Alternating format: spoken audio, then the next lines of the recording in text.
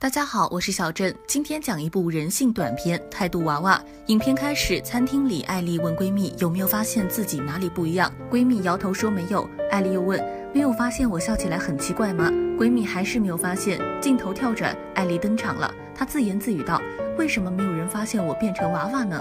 记忆回到小时候，小伙伴踢球不小心弄碎了艾丽的鱼缸，里面的金鱼缺氧死掉了，他向艾丽道歉。艾丽微笑着说：“没关系，再买一条就好了。”长大后，艾丽意识到微笑可以解决任何问题，而且因为标准的笑容加上不断顺应他人的喜好，受到了大家的赞扬。久而久之，艾丽发现再也看不到自己真实的模样，她已经和这张标准的面具融为一体，也没有人注意到她的异常。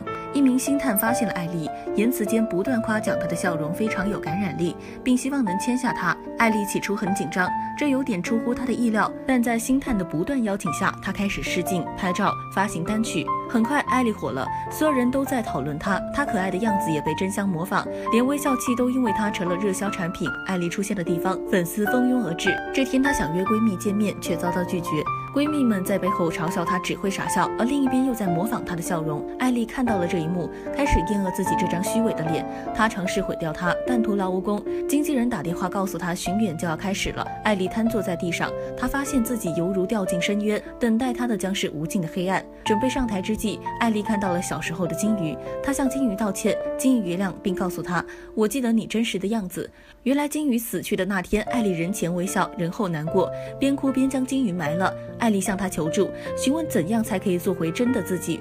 金鱼只说了一句话：“只要你有勇气毁掉一切。”艾丽仿佛知道了答案。